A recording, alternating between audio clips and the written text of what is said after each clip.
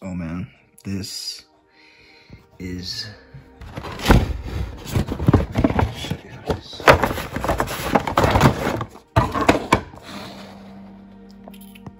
the Gucci card holder slash wallet.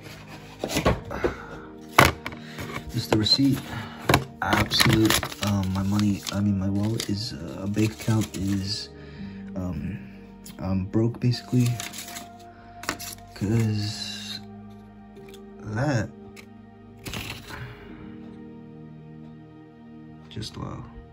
Yeah. Anyways. Um, the receipt comes in a nice little cardboard thing. So, you know, $300, I have to do a review unboxing. Comes in a very nice, uh, what's this?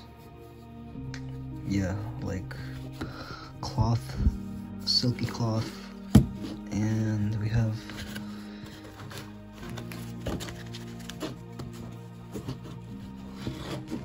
oh shoot, we have a nice gel pack here. Do not eat.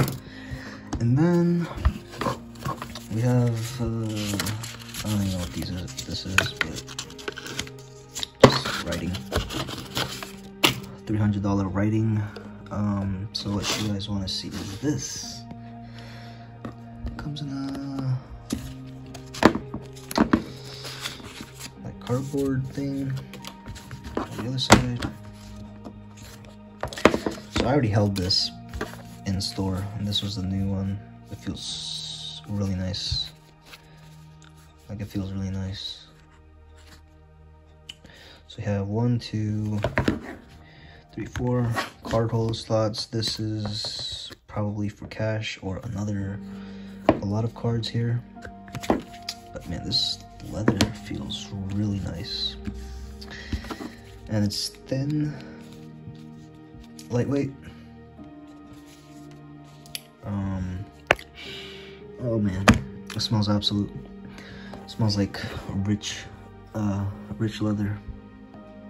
Okay, so, put in my credit card here, license and insurance card. Uh, there's one more slot here I just didn't use and I put cash in here.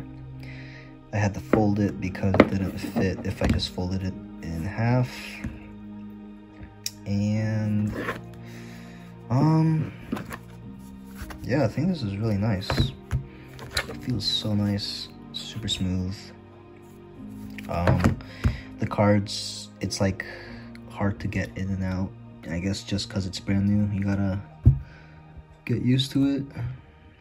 But there you have it. This is the $300 wallet slash card holder